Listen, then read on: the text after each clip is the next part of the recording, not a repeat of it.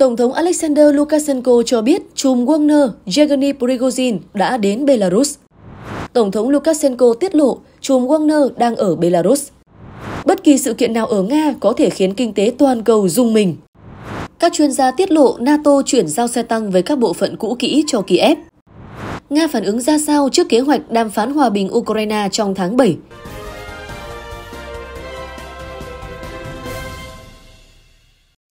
Tổng hợp những thông tin nóng hổi nhất trong dòng chảy tin tức quốc tế, quý vị đang đến với bản tin thời sự quốc tế trên kênh YouTube Tin tức Việt. Và sau đây sẽ là nội dung đáng chú ý có trong chương trình. Vâng, thực sự ông ấy đang ở Belarus hôm nay. Tổng thống Alexander Lukashenko nói, một máy bay phản lực tư nhân của ông trùm Wagner Yevgeny Prigozhin được cho là đã hạ cánh xuống một đường băng quân sự gần thủ đô Minsk vào sáng ngày 27 tháng 6. Thủ lĩnh Wagner đã rời khỏi Nga theo thỏa thuận ba bên giữa Điện Kremlin, Wagner và Belarus. Người phát ngôn Điện Kremlin Dmitry Peskov nói rằng các binh sĩ Wagner sẽ không bị truy cứu khi tính đến những nỗ lực của họ trên tuyến đầu trong cuộc xung đột Ukraine. Ông Peskov giải thích Tổng thống Nga Vladimir Putin luôn luôn tôn trọng thành tích của họ. Ông Putin cho biết các binh sĩ của công ty quân sự tư nhân Wagner có thể ký hợp đồng với Bộ Quốc phòng Nga hoặc các cơ quan an ninh khác, trở về nhà hoặc chuyển qua nước láng giềng Belarus. Theo ông Lukashenko, Belarus có thể được hưởng lợi từ sự hiện diện của quân đội Wagner trên lãnh thổ nước này. Họ sẽ cho chúng tôi biết về các loại vũ khí, loại nào đang hoạt động tốt, loại nào không, và chiến thuật, vũ khí cũng như cách tấn công, cách phòng thủ, nhà lãnh đạo Belarus nói. Điều đó là vô giá, đó là những gì chúng tôi cần từ Wagner, ông Lukashenko nói thêm. Tổng thống Alexander Lukashenko cũng đã ra lệnh cho quân đội Belarus chuẩn bị tinh thần sẵn sàng chiến đấu toàn diện trong bối cảnh xảy ra các sự kiện ở Nga. Ông Lukashenko nói thêm rằng nhiệm vụ an ninh ưu tiên của Belarus là ngăn chặn căng thẳng tiếp tục leo thang. Sau đại dịch, chiến sự Nga-Ukraine và cú sốc lạm phát, nền kinh tế toàn cầu đang ở trong tình trạng bấp bênh. Tuy nhiên, Nga cũng có thể là nguyên nhân khiến nền kinh tế toàn cầu một lần nữa phải dùng mình. Nga đã rớt khỏi top 10 nền kinh tế hàng đầu thế giới, với tổng sản phẩm quốc nội GDP gần bằng Australia, nhưng nước này vẫn là một trong những nhà cung cấp năng lượng lớn nhất cho thị trường toàn cầu, bao gồm cả Trung Quốc và Ấn Độ. Các nhà phân tích tại Bristol Energy cho biết, những bất ổn địa chính trị ở các quốc gia sản xuất dầu lớn trong 35 năm qua, từ bất ổn dân sự đến âm mưu đảo chính, xung đột vũ trang và thay đổi chính phủ, đã làm tăng trung bình 8% giá dầu trong 5 năm.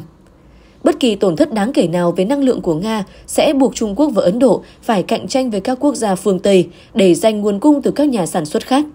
Nếu sự hỗn loạn chính trị hạn chế xuất khẩu các mặt hàng khác, chẳng hạn như ngũ cốc hoặc phân bón, điều đó cũng có thể khiến cung và cầu bị xáo trộn. Richard Bronzi, người đứng đầu bộ phận địa chính trị và đồng sáng lập tại Energy Aspect, cho biết các thị trường gần đây sẽ cần tìm ra mức giá sẽ tăng để phản ánh rủi ro lớn hơn đối với nguồn cung của Nga, một quan điểm được các nhà phân tích khác chia sẻ. Kể từ tháng 2 năm 2022, giá năng lượng và lương thực toàn cầu tăng vọt, đẩy lạm phát gia tăng ở châu Âu và Mỹ. Dù đã hạ nhiệt, cuộc chiến kiểm soát giá vẫn chưa kết thúc và hiện đang ở giai đoạn quyết định. Trạng cuối của hành trình khôi phục sự ổn định giá cả sẽ là trạng khó khăn nhất. Ngân hàng Thanh toán Quốc tế, ngân hàng của các ngân hàng trung ương cho biết trong báo cáo thường niên vào hôm Chủ nhật. Báo cáo cho biết có rủi ro nghiêm trọng là tâm lý lạm phát sẽ chiếm ưu thế, dẫn đến điều mà các nhà kinh tế mô tả là vòng xoáy giá cả tiền lương. Nền kinh tế toàn cầu đang ở một thời điểm quan trọng, những thách thức nghiêm trọng cần phải được giải quyết. Tổng Giám đốc Augustin Kesten phát biểu tại cuộc họp thường niên của BIS ở Basel. Năm 2023, các dấu hiệu cho thấy nhu cầu năng lượng toàn cầu có thể suy yếu, đều do các nền kinh tế chậm lại đã đẩy giá dầu thô của Mỹ giảm gần 14% xuống chỉ còn 70 USD mỗi thùng. Tiêu chuẩn quốc tế, dầu thô Brent cũng giảm với biên độ tương tự. Chi dưới 10 triệu thùng mỗi ngày, Nga sản xuất khoảng 10% nhu cầu dầu thô toàn cầu. Và với tổng xuất khẩu dầu gần 8 triệu thùng mỗi ngày, Nga là cường quốc lớn thứ hai sau Saudi Arabia trong liên minh các nhà sản xuất năng lượng hàng đầu OPEC cộng. Các biện pháp trừng phạt của phương Tây đã có tác dụng làm giảm số tiền mà Moscow kiếm được từ năng lượng, nhưng xuất khẩu dầu của Nga về khối lượng đã tăng trở lại mức từng thấy khi Trung Quốc và Ấn Độ tăng cường nhập khẩu. Ra người Đức, Trung tá về hưu Jürgen Rose tiết lộ với Sputnik, một phần xe tăng và những vũ khí khác cung cấp cho Ukraine có thể được cố tình lắp đặt những bộ phận cũ kỹ, phòng trường hợp nếu phía Nga chặn bắt cũng sẽ không nắm được những phát triển tiên tiến nhất. Khi có cơ hội tiếp cận các thiết bị quân sự hiện đại của phương Tây, các đại diện Nga sẽ nghiên cứu kỹ và đưa ra kết luận về tính năng của mẫu xe tăng phương Tây. Mặc dù ở đây cần tính đến rằng, khác với người Đức, người Mỹ, trong trường hợp cung cấp Abrams M1 sẽ không gửi các mẫu xe tăng hiện có trong hệ trang bị của quân đội Mỹ, mà là mẫu mới với cấu hình khác được sản xuất trước cuối năm nay. Chuyên gia Rose nói. Theo lời chuyên gia này, ngoài việc chuẩn bị cỗ xe tăng thích ứng với điều kiện chiến đấu ở Ukraine, rất có thể người Mỹ còn muốn tránh để những công nghệ và tính năng thiết kế của phiên bản xe tăng hiện đại nhất rơi vào tay quân đội Nga. Kết quả là người Ukraine sẽ nhận xe tăng của phiên bản rút gọn. Ông nhấn mạnh. Như đánh giá của Rose, không loại trừ là xe tăng Đức cũng đã nhận được sửa đổi, đặc biệt là trong bối cảnh có thông báo rằng mô đun nhắm mục tiêu trên xe tăng Leopard chuyển giao cho Ukraine thường bị lệch và sau đó không thể điều chỉnh. Có thể người ta thực hiện những thay đổi này với toan tính rằng người Nga sau khi nghiên cứu xe tăng đó sẽ đi đến kết luận rằng hệ thống điều khiển hỏa lực không phù hợp. Trên thực tế, mọi thứ hóa ra khác đi. Các mẫu hiện đại thông thường hoạt động tốt hơn nhiều, chuyên gia nói. Điện Kremlin cho biết Nga không hề biết về kế hoạch tổ chức một cuộc đàm phán quốc tế để giải quyết cuộc xung đột Ukraine vào tháng 7 như truyền thông Đức đưa tin. Điện Kremlin không biết gì về điều này và có lẽ các bạn cần liên hệ với kênh ARD để biết thêm thông tin. Người phát ngôn Điện Kremlin Dmitry Peskov nói. Ông Peskov cho biết thêm, hiện không có điều kiện tiên quyết nào để mở ra các cuộc đàm phán giữa Nga và Ukraine. Về khía cạnh đàm phán liên quan đến cuộc khủng hoảng Ukraine, chúng tôi có thể nhắc lại một lần nữa. Hiện tại không có điều kiện tiên quyết nào cho một khả năng như vậy, người phát ngôn nhấn mạnh.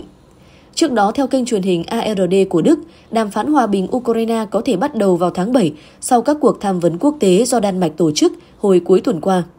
Các cuộc tham vấn quốc tế cấp cao nhằm tạo điều kiện thuận lợi cho các cuộc đàm phán hòa bình cho Ukraine đã được tổ chức tại Copenhagen vào tuần trước. Đài ARD đưa tin. Cuộc họp nói trên được cho là có sự tham dự của các nhà ngoại giao phương Tây cũng như Cố vấn An ninh Quốc gia Mỹ Jack Sullivan và đại diện của các cường quốc ở Nam Bán Cầu như Trung Quốc, Ấn Độ, Brazil và Nam Phi. Cuộc họp được cho là tổ chức theo sáng kiến của Kiev nhằm giúp phương Tây thu hút sự ủng hộ của các quốc gia nói trên. Những nước này đều là thành viên BRICS và cho đến nay vẫn giữ thái độ trung lập về vấn đề xung đột Ukraine. Đài truyền hình cũng tuyên bố rằng các cuộc đàm phán hòa bình chính thức sẽ bắt đầu sớm nhất là vào tháng tới, với cuộc họp ở Copenhagen được nhận định là một bước tiến quan trọng trên con đường dẫn đến các cuộc đàm phán hòa bình. Tuy nhiên vẫn chưa rõ liệu Nga có được mời tham gia các cuộc đàm phán hòa bình này hay không, đặc biệt là khi xem xét đến thực tế rằng Kiev đã áp đặt lệnh cấm đàm phán với Moscow. Trong khi đó, trong một tuyên bố chia sẻ trên website của Kiev, người đứng đầu văn phòng Tổng thống Ukraine đã cảm ơn chính phủ Đan Mạch tổ chức cuộc gặp ở Copenhagen. Qua đó xác nhận rằng cuộc gặp nói trên đã thực sự diễn ra. Tuyên bố đó cũng đề cập đến việc thực hiện Công ước Hòa bình Ukraine đã được thảo luận tại cuộc họp.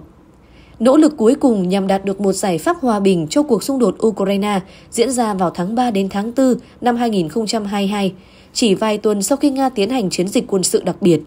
Mặc dù ban đầu có vẻ như Moscow và Kiev có thể đạt được một thỏa thuận, nhưng các cuộc đàm phán cuối cùng đã đổ vỡ và bị trì trệ cho đến nay. Đến đây, thời lượng của video cũng đã hết. Quỳnh Anh xin được gửi lời cảm ơn tới quý vị và các bạn đã chọn nghe thông tin từ kênh Tin tức Việt. Kính chúc quý vị có thật nhiều sức khỏe và niềm vui. Mời quý vị chuyển sang các nội dung kế tiếp đang hiển thị ở trên màn hình.